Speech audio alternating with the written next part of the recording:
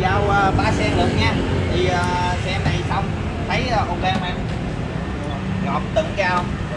Ngọt ha máy em không? Nam máy này đã rô đai và quýnh đi nâu luôn rồi em thấy vẫn im đúng không? Dạ. Ờ. rồi đổ máy trước nha anh em rồi quay chiếc trước em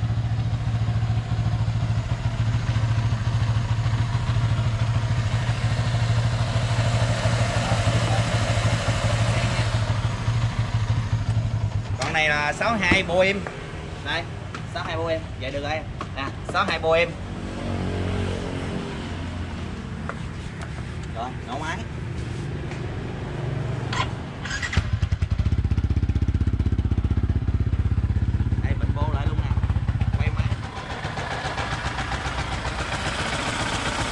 Xe này chưa đi đâu nha anh em.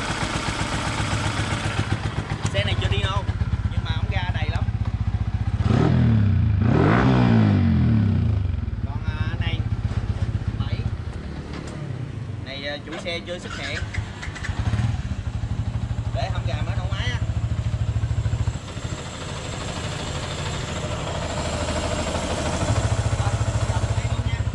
Nguyên cục máy 62 dinh dinh hoàn thành và dọn full kiển cho em trai nha.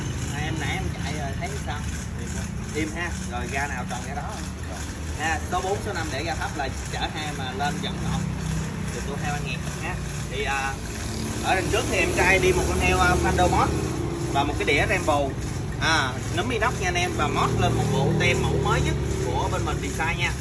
Với à, một cái cổ bô à, với một cái bô móc theo đúng cấu hình 62 dinh viên cho em trai. Rồi à, một cặp tay thắng cùng tăng TZM tay thắng Racing Boy chính hãng ha dây dầu bấm với à, một số ốc inox nè anh em à, ốc cốt trước nè. Mâm ba cây nữa anh em mâm ba cây dạo quýt ốc inox đồ kia đầy đủ phục phóc rồi xin nha anh em. Em thấy cái bột này nãy đi em không? Em ha rồi, cùi dĩa CNC luôn nè anh em. Cùi dĩa CNC à sơn ông dĩa, size này là đi 40 nha anh em, đi dĩa nhỏ nha. Bát tăng sơn âm đồ kia đầy đủ.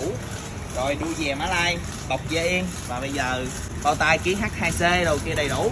Bây giờ mình sẽ nổ máy cho anh em nghe nha. Rất là êm nha anh em ơi. Đây, cá